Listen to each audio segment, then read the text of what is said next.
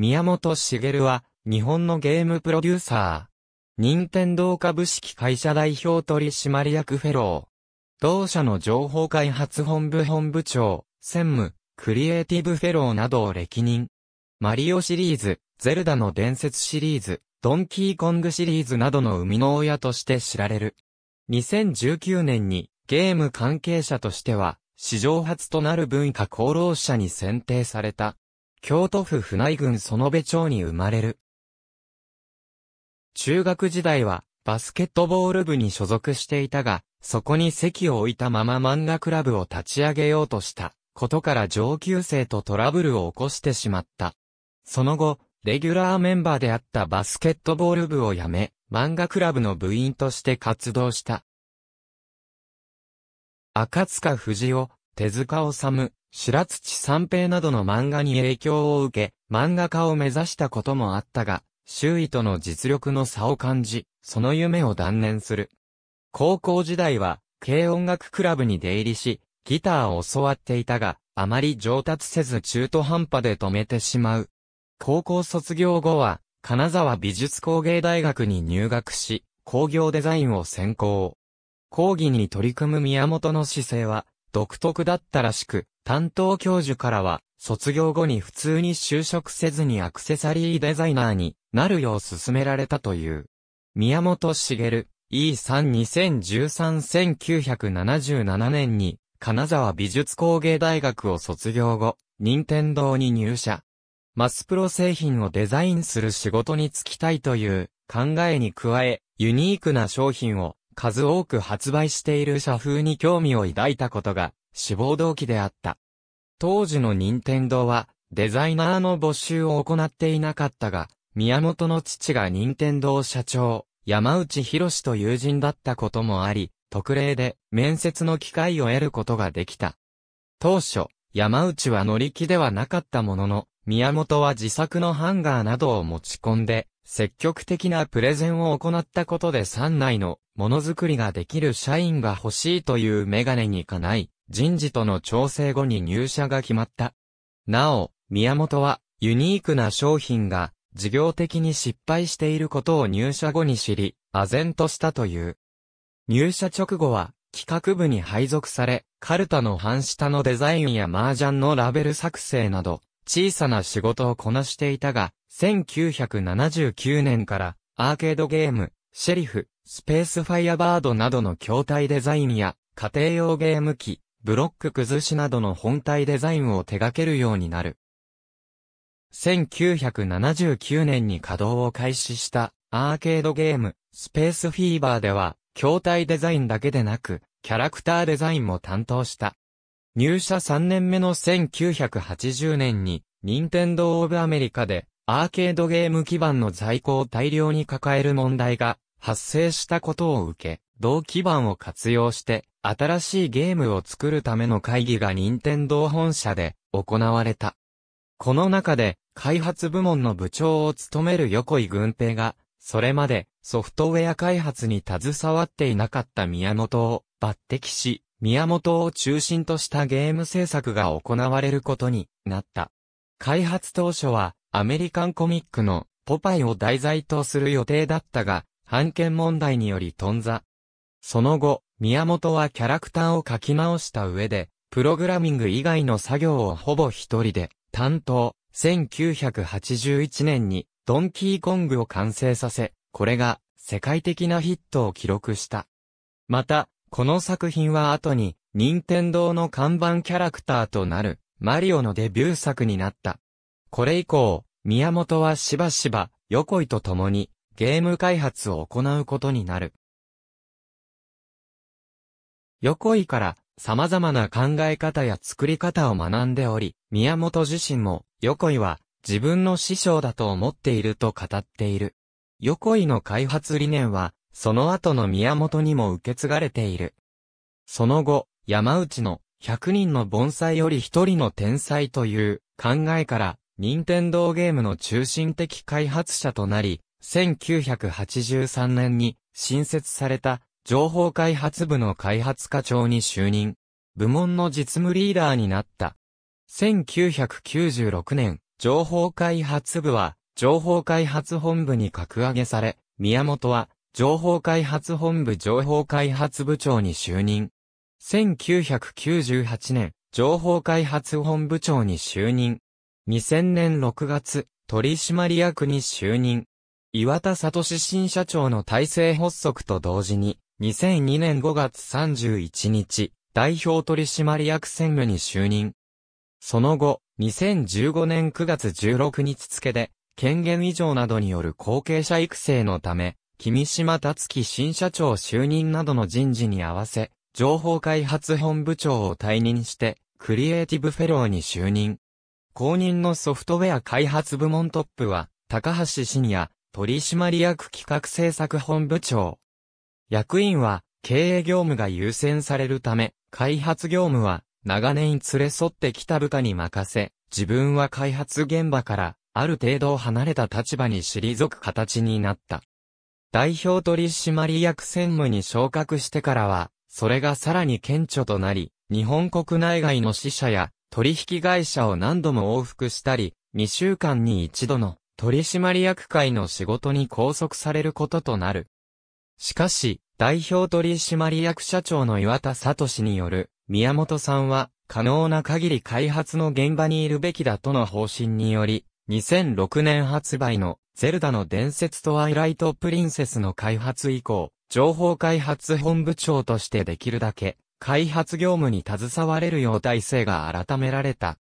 なお、宮本自身は、取締役の活動も、全体を捉えて単純化したものの見方ができるようになったとして、開発者視点において、無駄とはなっていないと語っている。2019年には、文化功労者に選定された。宮本は、この受賞に対して、ゲームというジャンルに光を当ててもらえるのは、光栄なことですと述べたほか、ゲームは大勢で作り、いろんなチームとも仕事をするので、個人でいただくというのがとても照れくさいですと語っている。1986年発売のゼルダの伝説など、初期のゲーム内では、生の本の字を読み替えた、ミヤ本と表記されており、ゲーム専門誌、ファミリーコンピュータマガジンで担当していた、読者コーナー、ゼルダの伝説 Q&A でも、ミヤホンと名乗っていた。この、ミヤホンという名前は後に愛称として用いられるようになり、稀に本人が使用することもある。スーパーファミコンにおける LR ボタンや、ニンテンドー64におけるアナログスティックのアイデアは宮本が提案したもので、現在では他社ハードのコントローラにも同様のものが搭載されている。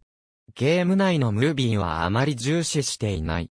元任天堂社長の岩田聡はこの理由を、ムービーを作っちゃったら、もう直せませんというのが、一番許せないようだと、語っている。他社ハードでプリレンダリングムービーが注目されていた時期に開発が進められた1996年発売のスーパーマリオ64当時でも周囲のスタッフがそれを感じ取りリアルタイムデモの仕組みを作り上げていった。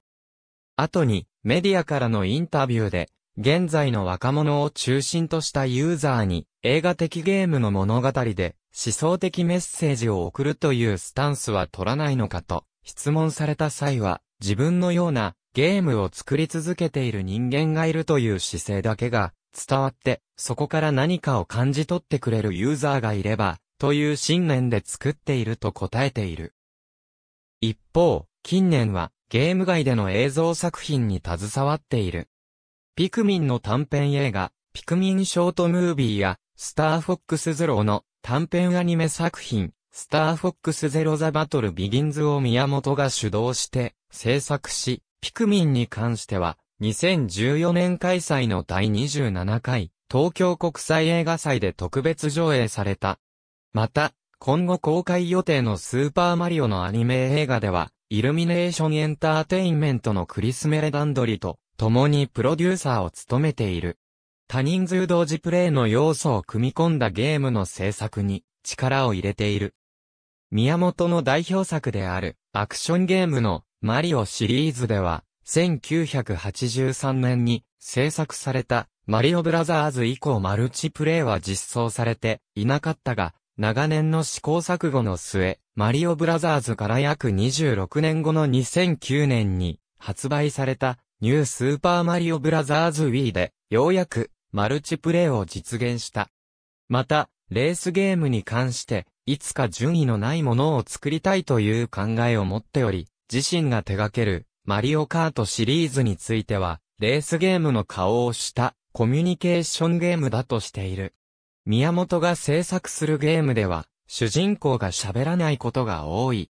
ただ、スターフォックス64などのように、会話をすることが、ゲーム性に関わる場合は言葉を発する。また、全体的な物語を作ることよりも主人公の周りに登場する人々の関係や存在感を描くことに興味があると語っている。2000年代の宮本製作のゲームには日常生活から着想を得ているものがある。2001年発売のピクミンは自宅での庭いじりが2005年発売のニンテンドッグスは犬を飼い始めたことが2007年発売の Wii Fit は体重測定を趣味にしていたことが制作のきっかけとなった。1989年発売のマザーを共同開発して以来進行がある糸井重里はそうした姿勢について町内会や PTA にまめに参加するなど普通の生活者としての完成度が高いために日常、生活から面白さを発見するのがうまいのではないかと語り、宮本のことを生活力の人と評している。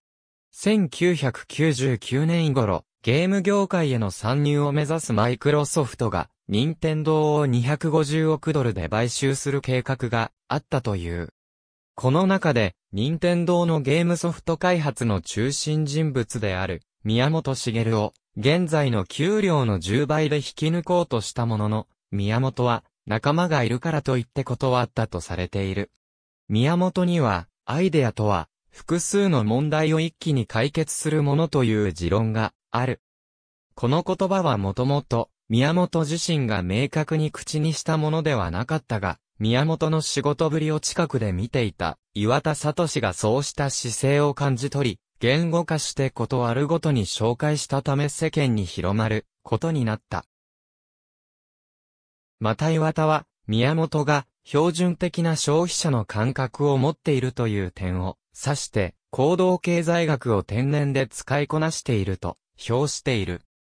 手塚隆、宮本茂、近藤浩二、2015年一本のゲームソフト開発に注力する立場から任天堂関連ソフトを全体的に監修する立場となった。現在、ダメ出しの結果、面白くないと強権を発動して、ほぼ白紙に戻す。ちゃぶ台返しを行うことがある。これについて開発現場からは、宮本チェックとして、大いに恐れられているという。ダメ出しをする行動自体は宮本自身が以前にも語っており、宮本の作品を面白くしようとする制作姿勢は広く知られていたものの、実際どれがどのように変わったかという個別の案件は知られていなかった。しかし、2004年3月24日にアメリカで開催されたゲームクリエイターのための会議、ゲームデベロッパーズコンファレンス2004において講演した任天堂の青沼英二が宮本茂のちゃぶ台返しについて面白おかしく語ったことがきっかけで世界的に知られるようになった。ちなみに宮本が手掛けた Wii スポーツリゾートやパイロットウィングスリゾートの舞台となるウルフアイランドには、チャブ台がひっくり返った形とされる、大チャブガンが3カ所ある。以下、チャブ台返しが行われたと判明しているゲームを記述する。宮本茂と Wii リモコン E3-2006 ヒット作の量産により、宮本茂の名前は世界的に広く知られるようになる。1990年にポール・マッカートニーが来日した際には、ポールの息子が宮本の名前を知っていたことから、コンサートは、もちろんのこと個人的な食事にも招待され、宮本はサインを送っている。宮本自身もザ・ビートルズのファンであり、特にアビーロードが好きで、ポールが訪れた時には興奮したという。また、マイケル・ジャクソンも宮本のゲームのファンだったとされる。このほか、タイム1996年5月号では、宮本のことをゲーム界のスピルバーグと評している。メタルギアシリーズなどで知られるゲームクリエイターの小島秀夫は、自身の制作スタイルとは異なるものの、宮本を師匠として尊敬している、旨の発言をたびたび言っている。2009年6月に、イギリスで開かれた、ディベロップコンファレンスの中で、ゲーム開発者にとっての開発業界のヒーローの投票が行われた際には、世界中のクリエイターが投じた9000票のうち、宮本が約3分の1もの票数を獲得している。ディズニーインタラクティブスタジオの代表者であるグラハム・ホッパーは、宮本をビデオゲーム産業において世界規模で何度も成功した一握りの人間であり、さらにそれが長期間にわたっている人物。おそらく彼と同じレベルで肩を並べられるクリエイターは存在していないとまで評価している。アニメ監督の細田守は宮本の出身大学である金沢美術工芸大学の後輩にあたり宮本に敬意を示している。歌手、俳優の星野源は宮本の師匠筋である横井軍平のファンであると同時に前述した宮本のアイデア論が自身の楽曲制作をはじめとした創作活動に強い影響を与えていることを明かした。ウォークオブゲームに設置された宮本のパネル。ありがとうございます。